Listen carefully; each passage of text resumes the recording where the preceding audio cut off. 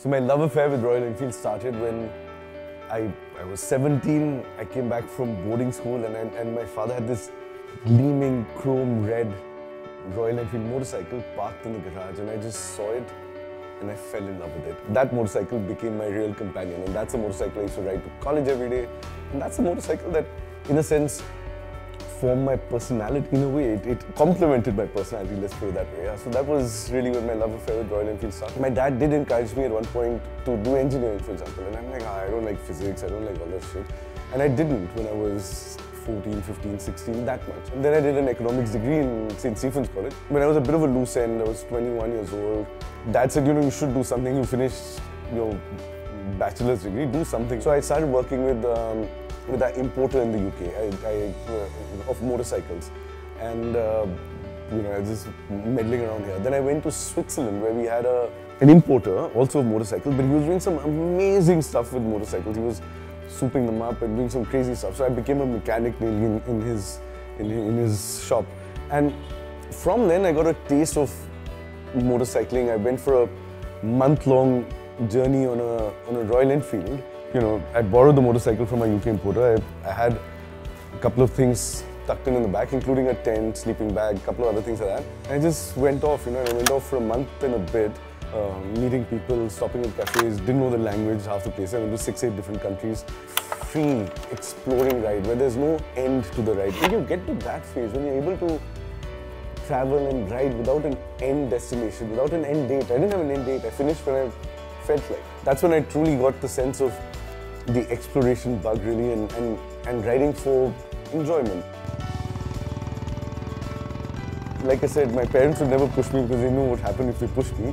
So then I spent, what was it, nine months in Germany working in MAN, which makes trucks. So then a year in Royal Enfield doing, you know, going to suppliers, seeing how they cast metal, how they do welding, how they do fabrication, all those processes, the metal part. And I was taken in by that. I was like, oh my god, this looks really interesting. And I really wanted to know how do you make all this happen? And that's when I got bit by the engineering bug, as it were. And then I, and I said, I want to study engineering. So I talked to people, I went to universities, I tried in the US. And then in the UK, I found a couple of places which said, well, you know, you can do a postgraduate diploma in mechanical and aeronautical, which is like, oh my god, I was like, how the hell will I do it?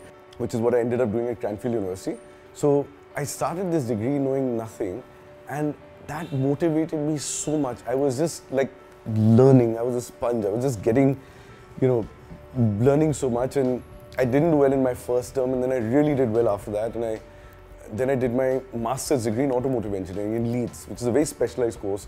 It was never preordained in our family, in our group, that I was going to one day come on and run this company. Right? That was never the case my father left um, his position. Team at that time said, well, you know, Royal Enfield's doing really bad. We're going to sell it off. And that's when I came in and I, um, because I was like, you know, I don't want to bloody work in trucks and tractors. It was a bit dull. I thought motorcycles were much more fun and up my street. I was exceedingly naive when I went in. I was 27. I knew nothing about the world. I knew nothing about business. I'd done no finance. I had nothing, you know, I didn't know what working capital meant. So I really went into the deep end thinking, how tough can it be to just sell a few more motorcycles, right? It doesn't sound so tough. So I went in with that type of naivety. But when I went in and I saw the depths of the problems, I saw the, you know, it wasn't about selling a few more motorcycles. It was HR issues, it was finance issues, working capital, plants, you know, labor issues, all that kind of stuff. That was the deep end. And again, that's when I really thrived, I think. That's when I really thrived, being thrown totally into the deep end and then having to work my way out of it. Six months into my CEOship in Royal Enfield, there were, it was the most bizarre motley crew of senior management. It was three chaps who didn't know anything about motorcycle, ah, well, the business, really running the business. But the most important thing was, it was a small group that looked out for each other, that made very quick decisions, and then what we did was we brought people up from from the middle management. When I went and I talked to some chap and I said, buddy, 90% of the motorcycles that reach our dealerships have transit damage. There are two profiles of people in those days. One chap who says, sorry, there's just absolutely nothing that we can't, we can't afford anything, nothing that can be done, sorry. Like, please, we don't need you anymore. Then there's a kind of guy who says, look, let's study the whole thing and we have to get rid of this. And then what we did was we studied, we understood, we said it takes some money, it doesn't matter. We changed from bhusa packing, we did, you know, proper, I don't know, styrofoam nowadays. And we got fitment trucks, which cost us money. But you know what? Our overall cost, including our insurance costs, including the damage cost, including the warranty cost, the PDI cost, all those other costs that we weren't looking at that time, they came down, but actually our transportation cost went up a bit. So that's the kind of team we built who was willing to look at things from clean sheet of paper, start everything from scratch, and with an absolute can-do spirit. So it happened very organically, and we built the company in a very interesting, fun, organic way where you know you could tell if people are having fun and really enjoying themselves, then they're probably right for the job. I shed all of our debts. Today we have zero debt. We have 6,000 crores of cash on our balance sheet. That's because I'm actually financially exceedingly prudent or even conservative. Yes, when I first started working in Royal Enfield, I was on the road all the time. You know, it's one thing when you meet a customer like normally people meet customers. You, in truck business or tractor business, you sit down, you chat with them, you ask them stuff. Here, what I was doing I was riding with customers. I was spending days and nights with them. So this is not about what do you think of my motorcycle? Do you think I should do this? Do you think it's not like that? This is emotionally being with the customer. It's it's understanding the um, the mindsets. It's understanding the priorities. It's understanding the emotional quotients. I remember the huge aha moment was when we set up our first, let's say, gorgeous store in in Adyar, which connects to Besant Nagar Beach. All the youngsters on the weekends, they ride down that road. It wasn't the center of town, but they ride down that road to go to the beach. So we said they're going to see this store. I remember one moment where I saw these four, five young lads on these little 100cc bikes going to the beach, and they're all sort of zipping by. And we had these gorgeous Royal Enfield flags as well. And these guys went by. I could see they stopped at the end, turned around, came back. They were chatting. They came up and they looked at the store and, and think about it. I mean, it wasn't as gorgeous as this store, but it was really nice. You walk into the store and they're chatting and I'm talking to them and they're like, this is Royal Enfield? I'm like, yeah. Like, we didn't know this was Royal Enfield. But I said, do you not know the bikes? He said, we know the bikes, but we didn't know this was Royal Enfield. Their perception of Royal Enfield changed when they saw the store. And when they came to the store and, and talked to people and understood the idea, and then we said, you know, why you take a ride? And they rode the bike. And But earlier, their perception of Royal Enfield was different. The bike is the same. They said, nah, it's not for me, it's for my uncle, it's for my, you know, rural uncle perhaps. And that was the vibe in those days. And now he's like, no, this is for me. And he rode the bike and he's like, oh, this feels really good. So, you know, that was insight for me to become a, to become a consumer retail oriented company. And then we say, shit, let's put up really nice stores, right? So that's what we did in Sao Paulo, in Bangkok, in, in Jakarta we put up really nice stores like this one. And we said one store, beautiful store, let people come in, let people experience Royal Enfield. And if they love it, and if they really love it, and we do really well, then we'll put up a second store. At 2004, I was been running Royal Enfield for four years. We'd come out from, you know, deep losses and into a very interesting position. And the CEO at that time had seen what I'd done. And of course, it helps that I was part of the family. There's no question about it. Otherwise, they wouldn't be talking to a 30 year old or 31 year old that was at that time saying, look, you know, maybe you should come in here. So there's no question about that. Really, in 2004, I came in in the group. And I said, look, if you're taking me away from what I really love, which is the motorcycle part, bring me into the group, then let me do or give me a free hand at doing what I like to do or what I think is important. And I didn't think at that time fine tuning of some of the businesses was important. We went 15 different businesses, garments, making shoes.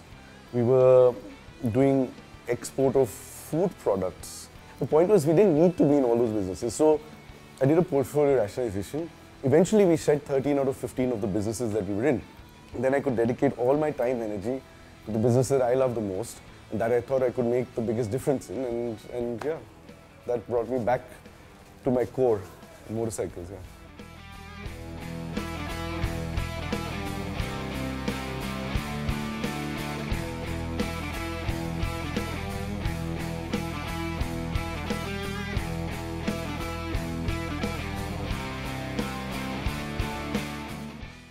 when you spend a lot of time thinking about something, at some point, clarity emerges.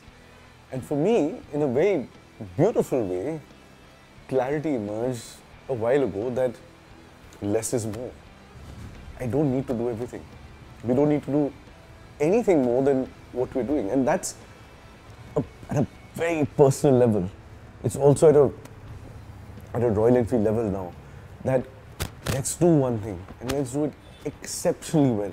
Let's not try and do too many things. Let's not try and go to too many places. Let's just do what we do. And if we can, if we can do something really well, it'll it'll find its path. My inspiration doesn't come from you know many people as such, or it doesn't come from. It comes normally from very small things, from the littlest details that I see in a habit, or the littlest sort of method that I see somebody operating in. But but but there are some people who, you know, who change your perspective on, on life and matters. And, and I knew this fellow, his name is Nick Sanders. He's this wild, intrepid traveler. I think he was the first person in the world to circumnavigate the world on a motorcycle. And that was a Royal Enfield. That's how he started his circumnavigation career, right? And I'm working in the factory in Madras and no, no cell phone, or maybe there was cell phone, I can't remember now, 2003, yeah.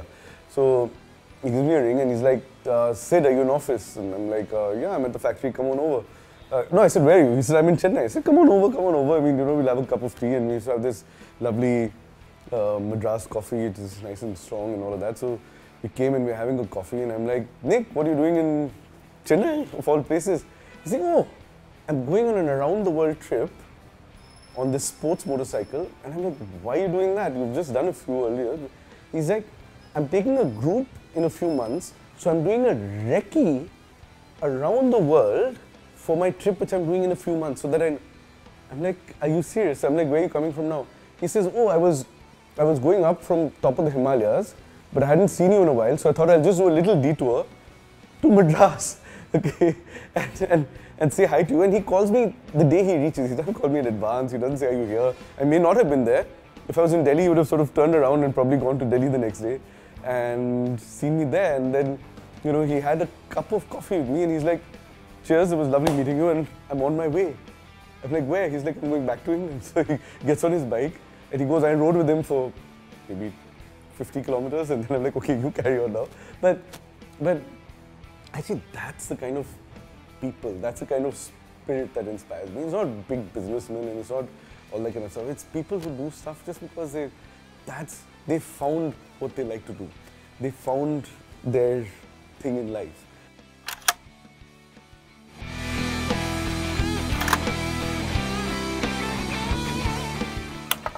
These are the kind of experiences that I've had which really lead me to believe that what we're doing here and what we're, the kind of stuff we're doing is encouraging people to go and ride. It's not just to go and ride more, it's to go and open your minds, to travel, to, to to see new things and not just physically but also in your minds to be to explore new avenues and and um, and yeah that's uh, that's what also keeps me going that it's not i mean i'm not just doing this for myself uh, if millions of other people sort of do this then you know maybe they'll also enjoy it as much as i do